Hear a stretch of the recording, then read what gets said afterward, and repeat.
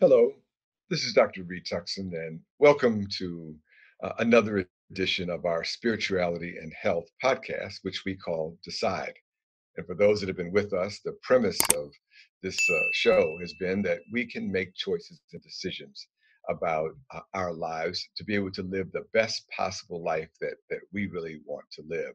And in past shows, we have tackled the uh, the D for diet. We've talked about exercise, community development, inner development. Uh, dreams is what we did the, the last episode. And today we will conclude uh, our season two uh, experience with talking about emotional development. And we're pretty excited uh, to be able to bring that to you. As I mentioned, what we're trying to do is to be a support system for those of you who are making the choice or who are trying to make the choice to be the best possible person they can be, fulfilling the maximum of your potential, and really being in touch with your true self, your inner self, your spiritual self. Uh, we also find it important to remind um, ourselves as we have this conversation, as we take this journey, that sometimes you know we don't always uh, do what we want to do, even with sincere intent and sometimes it needs uh, you need a little support that says you know i may not have uh, done what i wanted to do yesterday but today i can make that choice. And so if we choose sincerely step by step we can make the choices that will give us much better much more fulfilling and enriching lives. And so thanks for taking this step with us as we go forward. The premise of, uh, of what we've done also is very grounded in this definition of health by the World Health Organization. And I think that it's good to always remind ourselves that health is not the absence of disease, but it is, in fact, the physical, the mental, social, and what I call spiritual well being uh, of the individual, of the community, of the country, and of the world. And so we really see health in its holistic, complete uh, context. And I can't think of anything that's more important to the experience of being healthy than having a healthy emotional uh, outlook on life, a very healthy emotional interior uh, as we go forward. Well, we're going to talk about emotional development. So I guess it's best to start with what are emotions? What is this thing that we seem to all, you know, uh, I think sort of understand. Uh, but emotions really are, as defined by the dictionary, a strong feeling derived from one's circumstances, one's mood, or relationship with others. The affective, the experiential aspect of consciousness, a state of feeling. A conscious, very important word, a conscious mental reaction, such as anger or fear, that's subjectively experienced as a strong feeling, usually directed toward a specific object, and typically accompanied by really physiological and behavioral changes in the body. And so I think you get the idea that emotions are really all about feeling.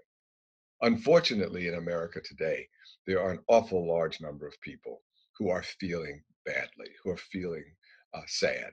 Uh, we have uh, shown this uh, this slide uh, in previous shows only to emphasize that there is a significant uh, a number of people in this nation who are dying from diseases of despair.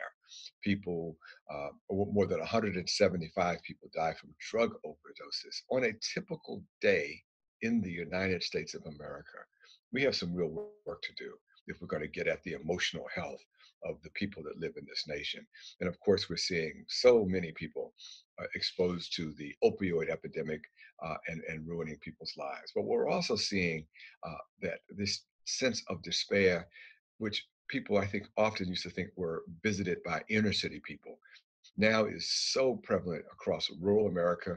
And in fact, it's become a national issue and one of great concern. As a physician, I understand that many people who we meet may have significant psychiatric challenges that may prevent them from doing some of the things we're going to talk about today.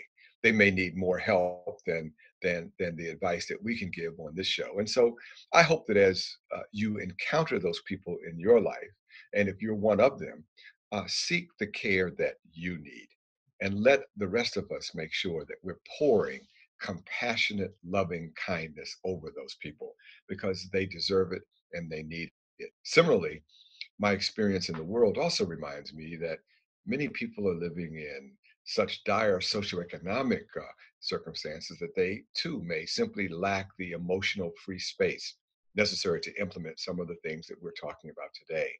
And so I would remind us again as we meet those people in our lives, let's give them every bit of our loving kindness. Let's pour our compassion into them and let's take the social action that's necessary uh, that we talked about in our show on community engagement that will help everyone have the opportunity to live the lives that they want to live.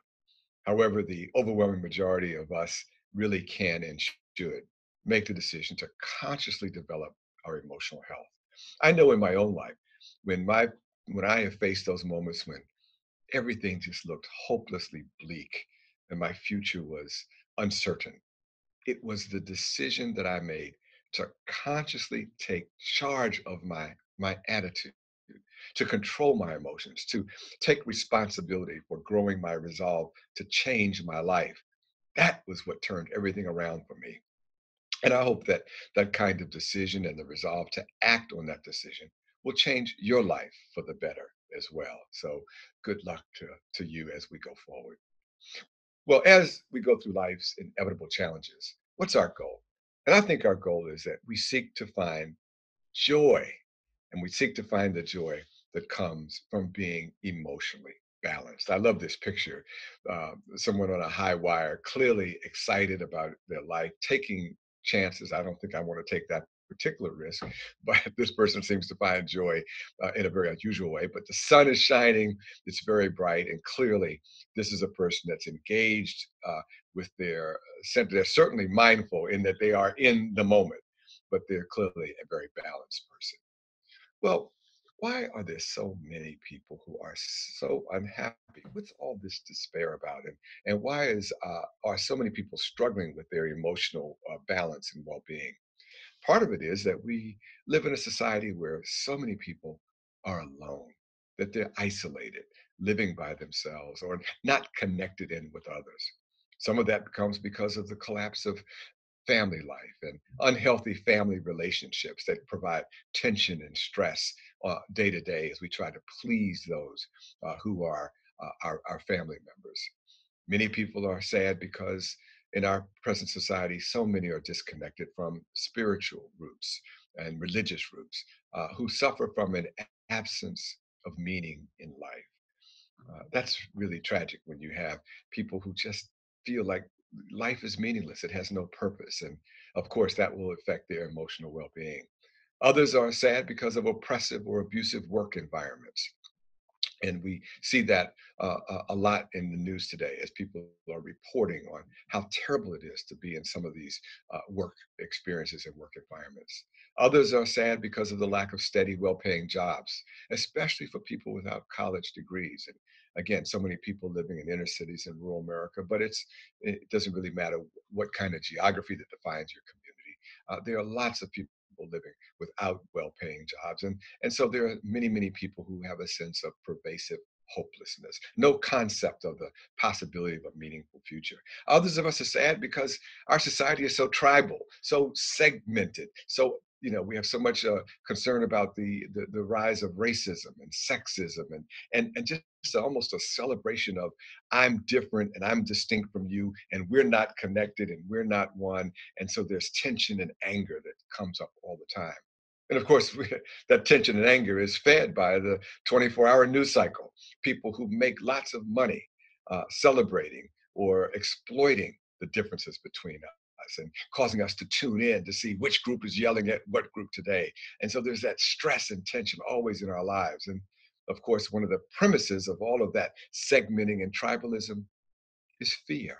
We're, we're encouraged to be afraid of the other, afraid of this horrible threat that's about to happen or that threat that's about to happen. And so we're always on alert. And of course, our physiological, our body reacts to those things by producing chemicals that make us think that we're under attack and they have their secondary consequences. Many of us are sad because we're so addicted to things, the material uh, possessions and needing to acquire. And so there's always this race to get more and more and more and more. And of course, that leads us to jealousy and envy uh, of others because uh, we can see what others have and we don't have it and we think our lives aren't great because I don't have what the other person has and and now I feel badly and I'm sad and I'm and I'm and I'm tense and I'm anxious. And then we have the rise of mental health disorders and people that are treating their mental illness with substance abuse. So lots of reasons today why people are sad. And of course, what that means lots of ways in which we can overcome it, and lots of ways we can find joy and balance and happiness in our lives. I like to think about what then would be a healthy emotional person. And sometimes that's called emotional intelligence. And the way that I think most people that have studied this issue think about it is emotional intelligence or being well balanced emotionally means that you have the capacity to be aware of and to control and express your emotions and to be able to handle interpersonal relationships judiciously and empathetically. The ability to understand and manage your own emotions and then be able to interact with the people around you. People with a high degree of emotional intelligence, they know what they're feeling. They know what their emotions mean in the moment, and they know how those emotions can affect other people. Now, let's be clear emotions are not necessarily always good or always bad. I love this little picture uh, of this young man who's got so many different expressions, and you can't always tell whether or not that one one particular face is a face of exalting happiness or absolute terror. Uh, whether he's really happy or really sad, is he amazed in a good way or amazed in a bad way? Emotions are not all, you know, very rarely are they just one thing or another. It's up to us uh, to be able to to understand our emotions life would be very dull and empty without emotions. Imagine yourself or your life without joy, without excitement, without sadness, without anxiety, without sorrow, or any of the emotions that give life its contours, its textures, its colors. What if all there was to life was happiness without the balance of sadness that opens the door to experiencing compassion for others or compassion for yourself, or that leads us to the tender expressions of our hearts? So much of our music and our painting and our written artistry comes out of the feeling of difficult emotions that give depth and richness to the experience of being human. What if you never experienced the warning signs of fear, such that you were then unable to protect yourself from danger? What if you never were touched by the anxiety that motivates us towards creative solutions and challenges? You get the idea. Emotions, in and of themselves, aren't necessarily good or bad. But what's important is that we don't become ruled by our emotions, that we don't get caught up in our emotions or lost in emotions. When we think about emotions, I think it would be very good to remember we have a choice. Either our emotions will control us or we will control our emotions. I love the teaching uh, that I have uh, taken to heart that says, My emotions are not me. They're mine. My emotions are not me. They are mine. And I'm in the position, if I choose, to be the one to control them.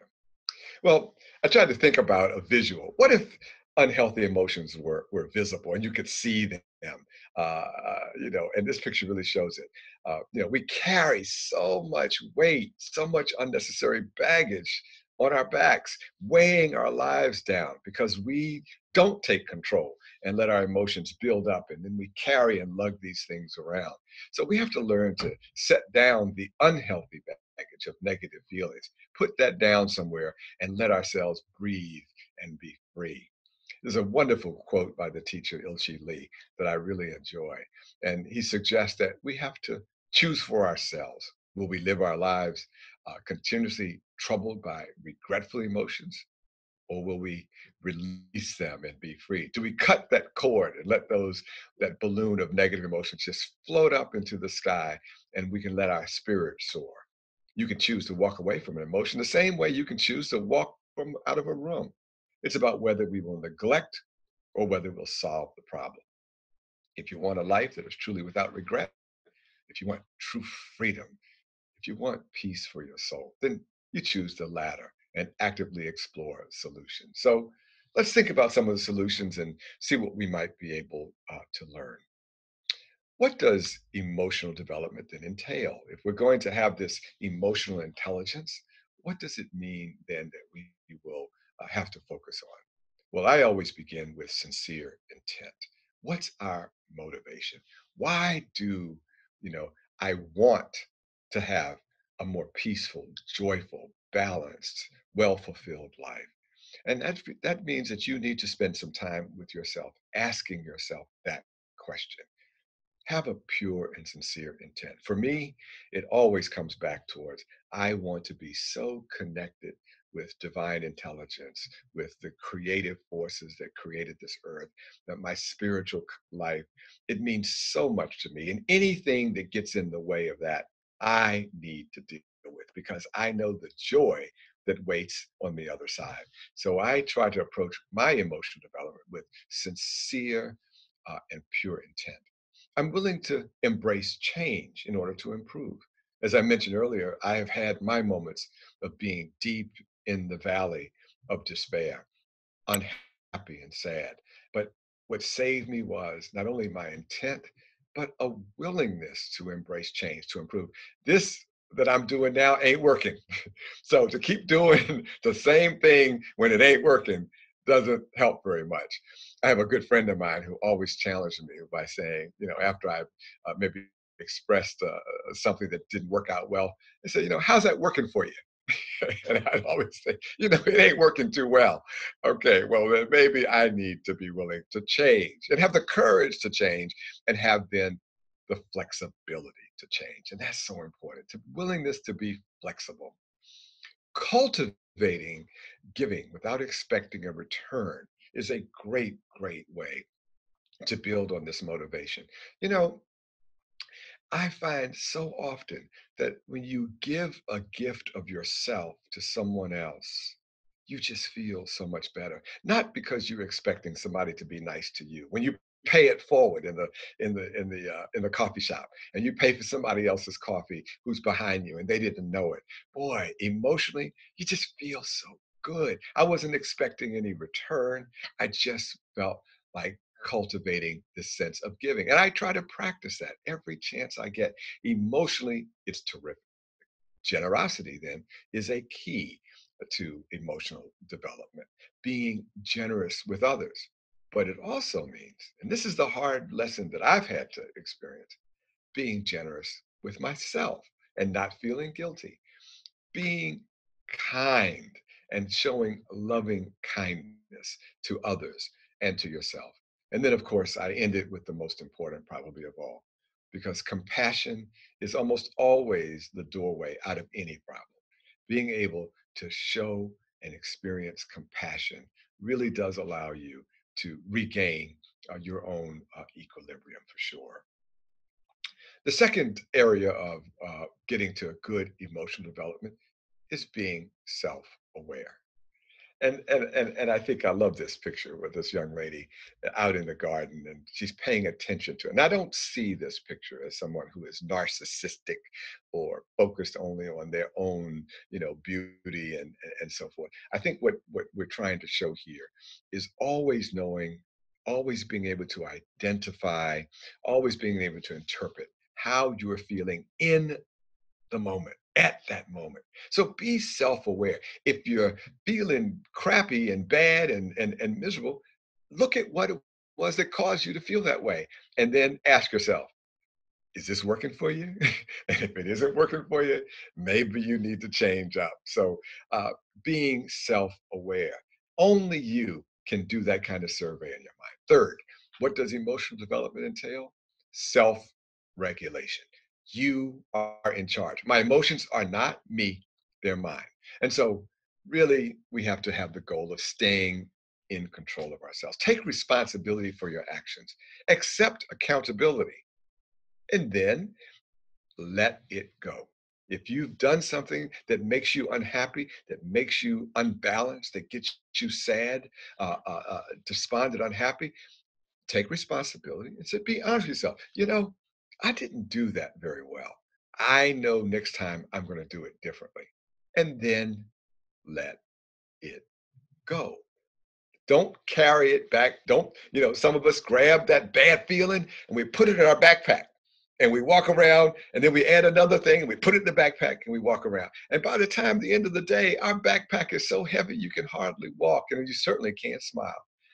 Let it go. Put the bag down. Love yourself enough to be able to forgive yourself and just don't make the same mistakes the next time. Have grace under pressure. What does that mean?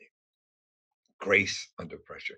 You may be working in very challenging, uh, uh, high pressure involvements, but always try to stay calm, stay graceful, stay wonderful. Don't let them see you sweat. Just be the best you under that pressure.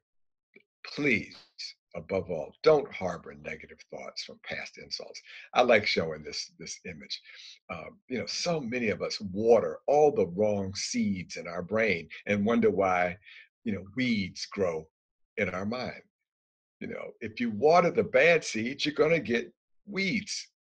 Water the beautiful seeds and you get beautiful roses and tulips and daffodils. Don't harbor negative thoughts from past. Somebody injured me back in 1944 and I am still mad. Well, guess who won? The person that insulted you. They're happy eating a cheeseburger somewhere, enjoying their life, and you're walking around with these bad feelings. Why would you give anybody that kind of control over your life? Let it go. So what? You were insulted when you were in kindergarten. Hey, you're an adult now. Let it go. Refuse to indulge in gossip and negativism.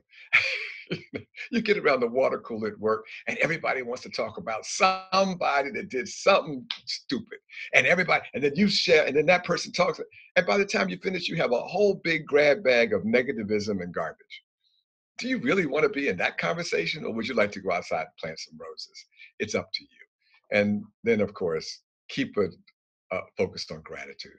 I still do every day my gratitude journal. It has changed my life so much because it reminds me no matter what problem is going on, there still is that ray of sunlight that's bouncing off of the leaf on the little flower in my garden. And if I'm not grateful for that little ray of sunlight and that flower and the reflection shining into my eye, making me happy, you know, shame on me.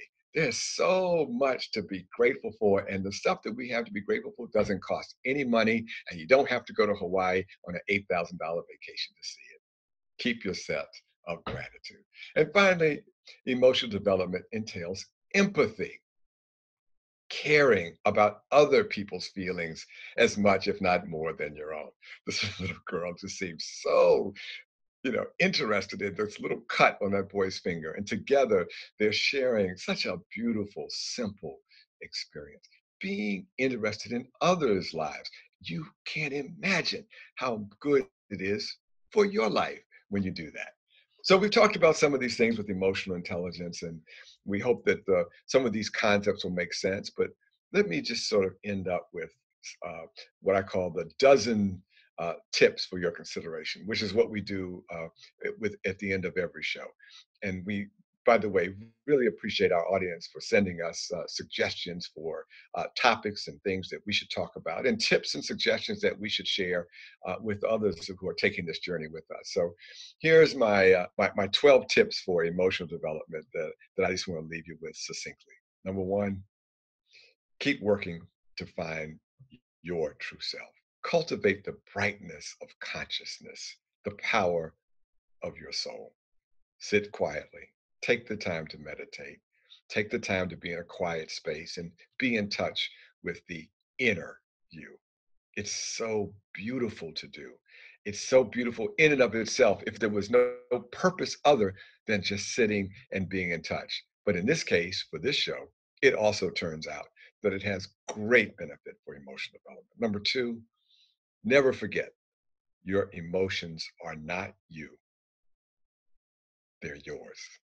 You are the charge of them, and you can be the one to decide how you feel about any particular element that happens in your life. Only you can do it, and you can do it.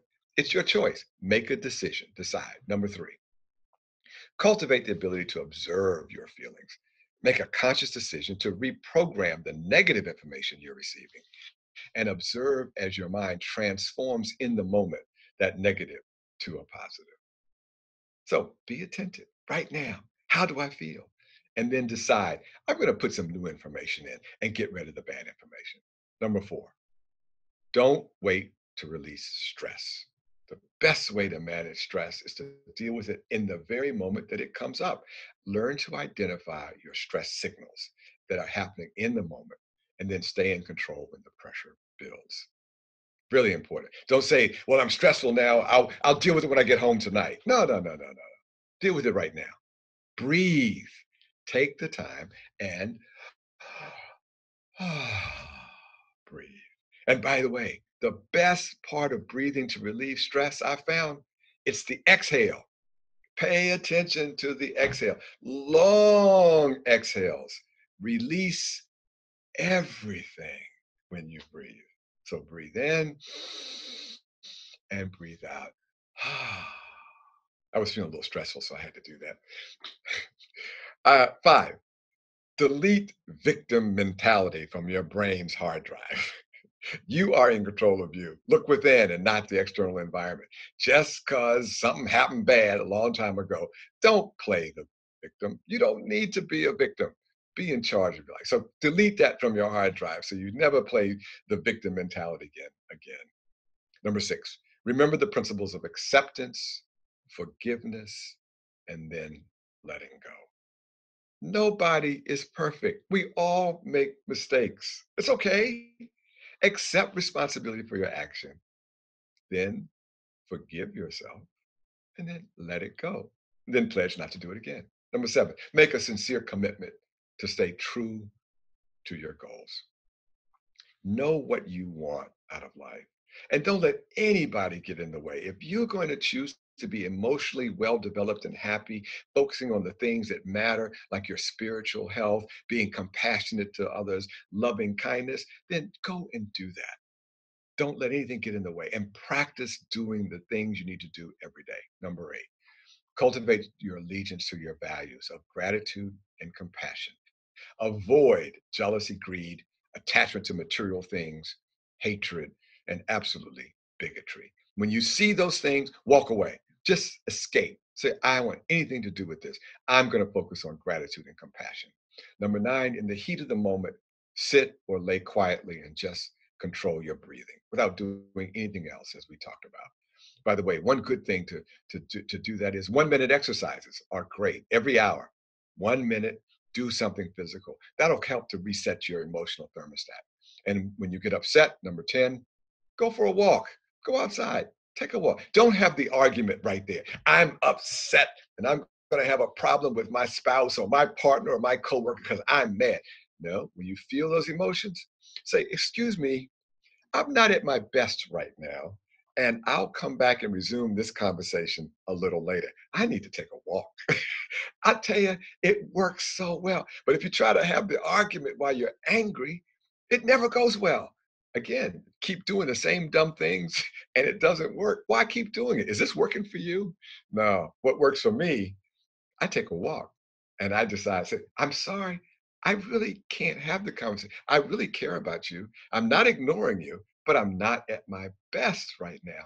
I need to take a walk, and then I'll come back and give you a better me, and then we'll have our conversation. Number 11, grow your joy and don't let anyone take that from you.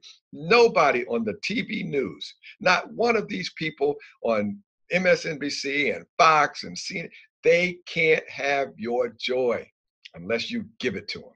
So turn off that TV. Don't let anybody have your joy. Number 12, keep a journal. Write down your thoughts. How are you feeling? What did you do that made you feel badly? Write it down. That way you can avoid it. Change your behavior. I'll give you a last freebie, 13. I said a dozen. This is a 13. Be careful what you feed your brain. Turn off the noise from TV, popular culture, the things that are engendering in you bad feelings that you know aren't healthy for you. Don't water those seeds. Well, it's been really fun to think about this idea of emotional development. And so as we end up, as we go through life's inevitable challenges, seek to find the joy that comes from being emotionally balanced. Life is so beautiful, so wonderful. I hope that every day that you put your feet on the earth and walk among it, that you have the chance to let your your your your, your whole being completely immerse yourself in joy and happiness. Transform the world around you so that it can be consistent with the vision that you have for your life. You can do it. It's under your control, and everything you need, you already have inside. Hey, thanks a lot for joining us and see you on the next uh, part of our spiritual uh, health uh, journey. And uh, please contact us with your suggestions. We love hearing from you to tell us the things that you want us to talk about. And until then, happy meditating, happy walking, happy peace. Take care. Bye bye.